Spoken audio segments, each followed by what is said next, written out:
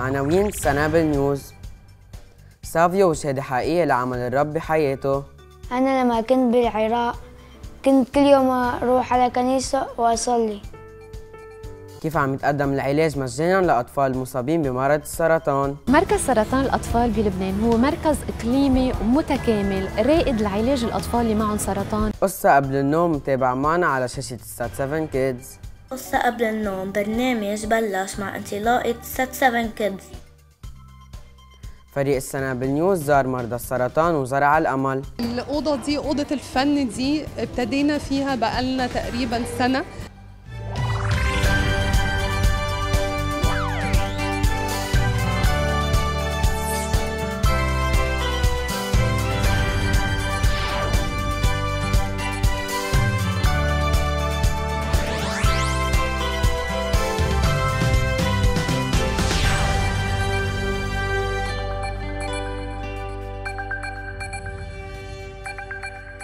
أهلا وسهلا فيكم ببرنامج سنابل News. أنا جينيفر. وأنا غدير مثل ما تعودنا برنامج سنابل News هو برنامج الأخبار يلي بعرفكم على أخبار الأطفال وبيطلعكم على أمور عملية بتفيدكم بحياتكم اليومية.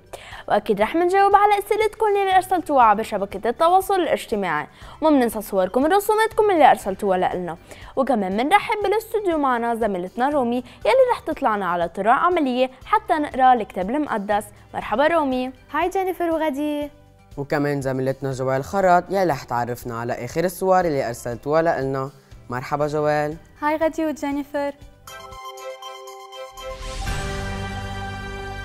ما فينا نقول إنه نحن مسيحية لأنه خلقنا بعائلة مسيحية إنما علينا نختبر محبة المسيح بحياتنا وتكون علاقتنا شخصية معه. سافيو عنده اختبار خاص مع الرب. تفاصيل بهيدا التقرير. أنا لما كنت بالعراق كنت كل يوم أروح على كنيسة وأصلي. إيه، لما إجوا داعش أخذوا كل من ألعابي يعني كنت في لعبة حلوة كان كتير كان اسمه Xbox. كمان أخذوها كان يعني كنت كل يوم أص... يعني أصلي اللي يجيب لي شي يسوع لكن ما في شي.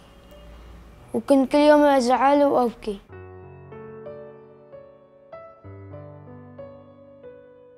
لما جينا على لبنان تعرفنا على أسيس اسمه ميشيل. يعني هو أخذنا على كنيسة كل يوم يعني عجبتنا. كل يوم نروح فيها نصلي. ويسوع اللي يعني اشتغل فينا وجربنا بهذا الشيء يعني هو حبنا كتير يسوع. نحن حبيناه لما أجينا على كنيسة. كان كان كانت كنيسة كتير حلوة.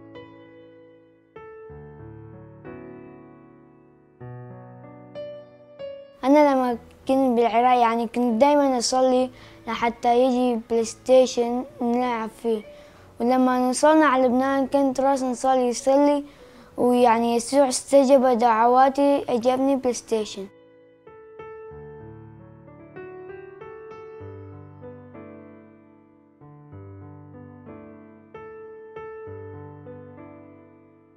أنا كمان بحب إنه أصحابي يعني يصلي ليسوع إنه هو يستجيب دعواتنا ودايما يقف جنبنا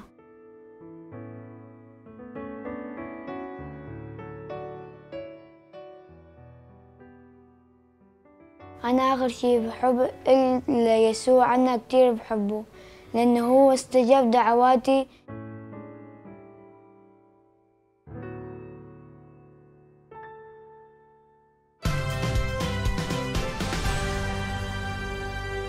في أطفال مصابين بمرض السرطان وأهلهم مش قادرين يعالجوهم. إنما الرب عنده للموت مخارج في كتير مستشفيات عم بتقدم العلاج مجانا للأطفال. التفاصيل بهذا التقرير. هاي معكم كارول من أسنابل نيوز. اليوم نحن موجودين بمركز الأطفال المصابين بالسرطان بلبنان. هيدا المركز بيستقبل كتير من الأطفال من دون أي تفرقة. تعالوا نتعرف أكثر على السي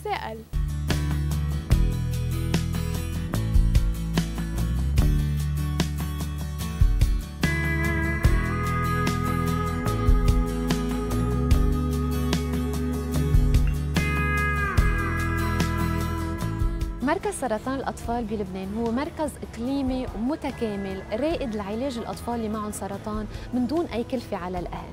افتتح أبوابه المركز ب 12 نيسان 2002 ولحديت اليوم قدرنا عالجنا أكثر من 1250 طفل مصاب بالسرطان. موجود مركز سرطان الأطفال بحرم المركز الطبي للجامعة الأمريكية ببيروت وعندنا تواصل وثيق جدا مع آه، المستشفى العالمي St. Jude Children's Research Hospital اللي موجود بالولايات المتحدة.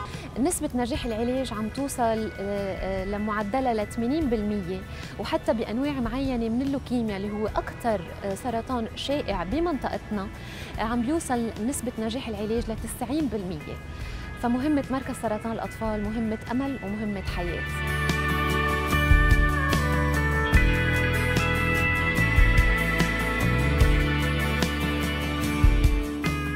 أنا اسمي هند عمري تسع سنين. عباس. خمسة صار بالمركز ثمان شهور أنا أكتر شي بحب الأشفيتي على هون بس بحبهم كلهم. محمد غيث عمري 11 سنة. بروح المدرسة بكار بصف السادس. حاليا عندنا 300 طفل عم بيتلقوا العلاج بمركز سرطان الأطفال بيجوا من كافة المناطق اللبنانية وحتى من الدول العربية. الطريقة الوحيدة ليقدر يكفي المركز مهمته الإنسانية بتخليص حياة الأطفال هي من خلال التبرعات والمساهمة لأنه هي الوسيلة الوحيدة لنقدر نعالج أطفال المركز. فمن من هون بندعي الجميع يكونوا عم بيساهموا على قد قدرتهم لمركز سرطان الأطفال وانقاذ حياة أولادنا بالمركز. آه، من خلال التواصل آه، معنا على 01 أو 70 35 15 15 على website المركز www.cccl.org.lb باجي بشوف الناس تاعولي.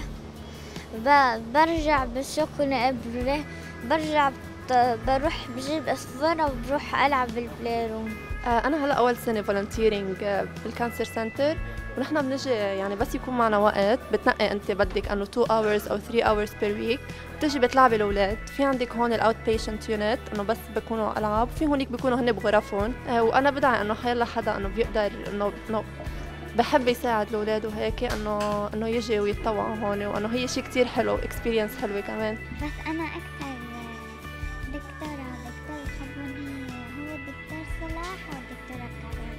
أنا اسمي عمر العلي عمري 19 صار لي شي سنتين ونص تقريبا.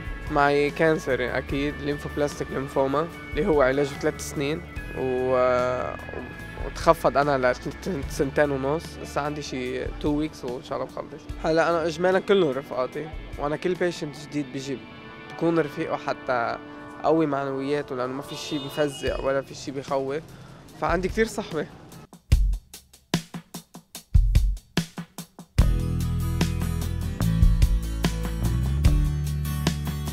أنا بدي أقول لكل مريض cancer صغير كبير ما يفقد الأمل لو ما في شيء بيفقد أمل إذا بعده صلة مع الله. كل ما كان نتمنى كل ما كان طلبه بسرعة خصوصي خلونا نشكر الرب على الصحة اللي بيعطينا إياها. ونشكره لأنه هو دايما معنا لو مرقنا بمصاعب. كانت معكم كارول من السنابل News كلنا حبينا برنامج قصة قبل النوم مع ريتا يلي عم نتعلم فيه الصلاة وقراءة كلمة الله قبل ما ننام. برنامج قصة قبل النوم تابع بموسم جديد على شاشة SAT 7 KIDS.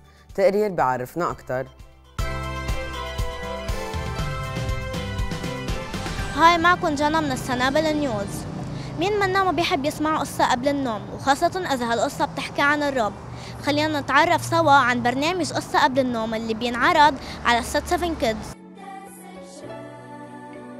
قصة قبل النوم برنامج بلش مع انطلاقة ست سفن كيدز يعني من أكتر من 8 سنين. هو عبارة عن فقرة من عشر دقايق بتخبرنا فيها ريتا قصة من الكتاب المقدس وبآخر القصة في صلاة خاصة بتصليها ريتا مع المشاهدين.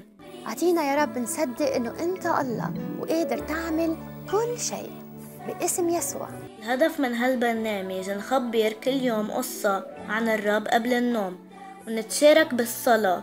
قصة قبل النوم من أهم البرامج اللي عم تنعرض على ست سفن كيدز وهو برنامج كتير محبوب من قبل الأطفال. قصصنا انعملت وانكتبت وانرسمت خصيصا لإلكم أنا ريتا واليوم رح خبركم قصة كتير حلوة بتعرفنا أكثر وأكثر عن محبة الله لإلنا. أنا بدعيكم إنه ما تفوتوا ولا قصة عليكم ما في أحلى من إنه نتعرف على محبة الرب إلنا. كانت معكم جنى من السنابل News. علمنا الرب يسوع أن نزور المرضى ونشدد الأشخاص المحتاجين لمعونة بوقت الشدة. وهيدا يلي قام فيه فريق السنابل News بمصر بحيث قام بزيارة مستشفى الأطفال المصابين بمرض السرطان. تقرير بيلقي الضوء. كان يسوع يطوف في كل الجليل ويعلم في مجامعهم ويكرز ببشارة الملكوت ويشفي كل مرض وضعف في الشعب وهكذا كاميرات سات 7 كيدز تطوف في مستشفى 57 3 57 مع عمو منير. خليكم معانا يا رب تنبسطوا.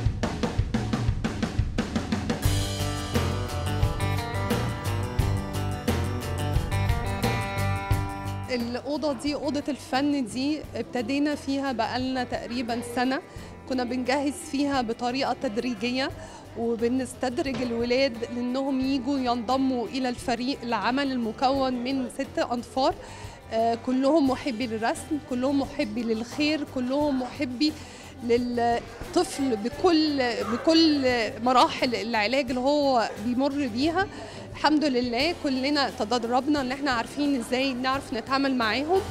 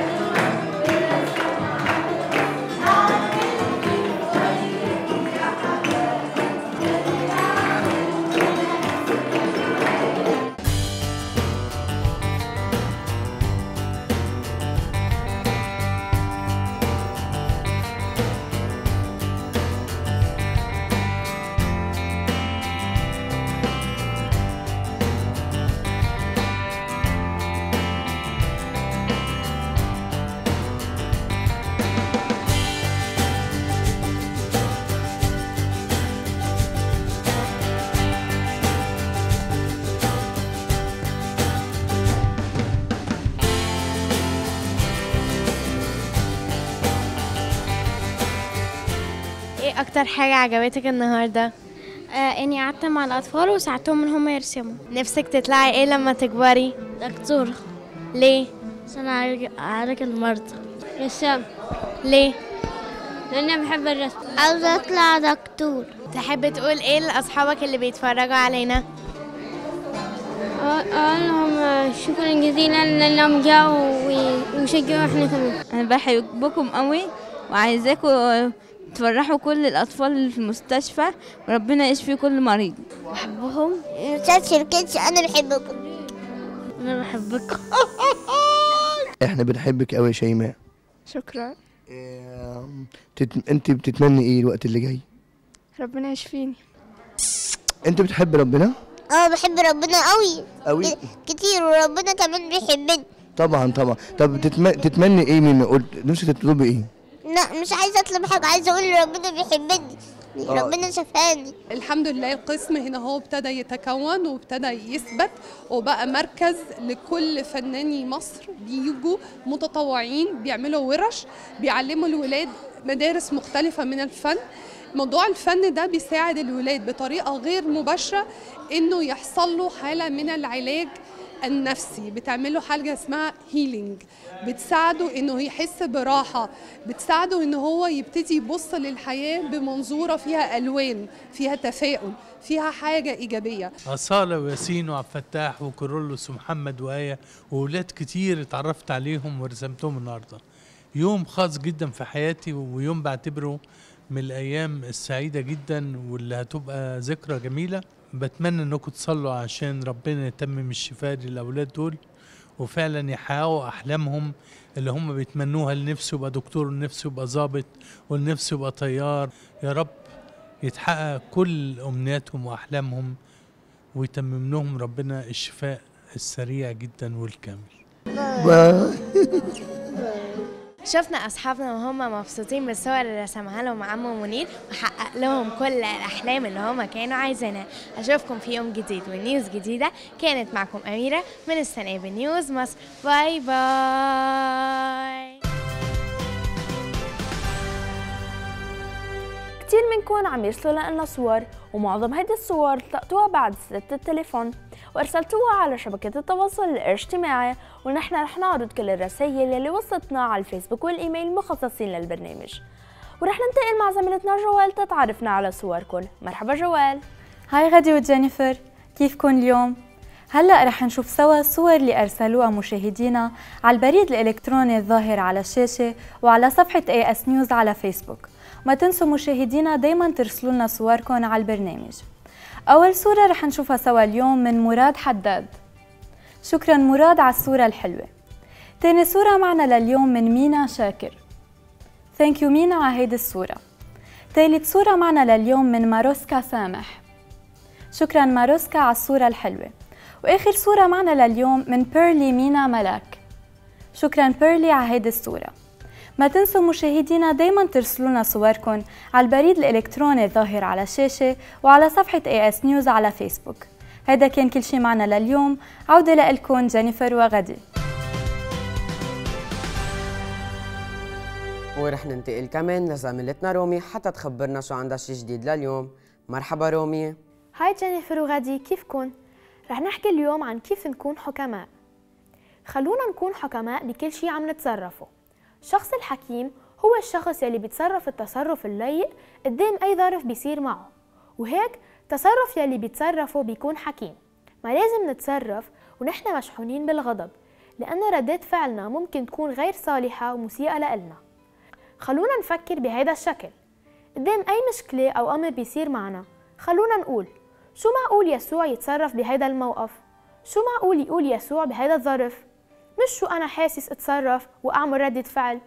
وهيك منكون عم نتصرف مثل ما الرب يريد مش مثل ما نحن منريد وهيك موقفنا بيكون حكيم. خلونا نطلب الحكمة دايما من عند الرب لأنه هو الوحيد الحكيم. هذا كان كل شي لليوم. عودة لكم جينيفر وغادي.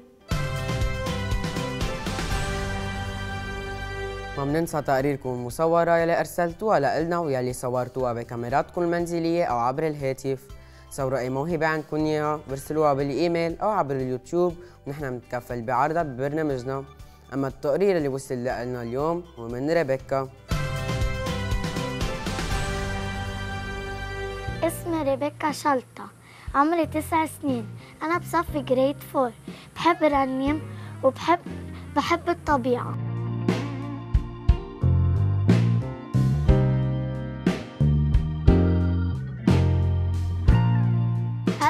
رنم لكم ترنيمة إن كنت تحبي يسوع.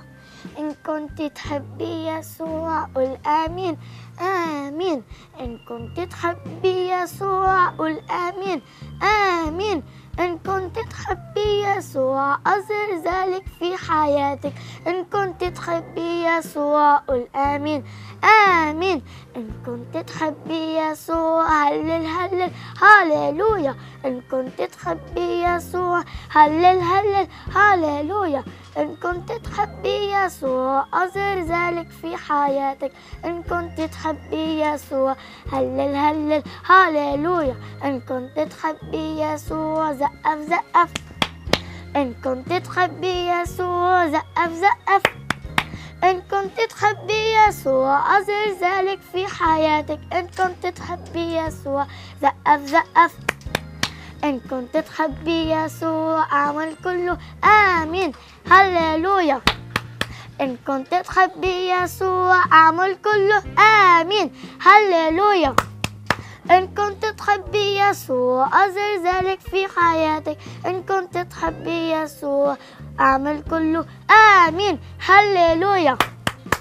هلا كل واحد يرنم مثل ما أنا عم رنم bye السنابل News. هيك مشاهدينا بتكون خلصت حلقتنا لليوم. أنا وغدي بنودعكم على امل نشوفكم بحلقة جديدة. bye, bye.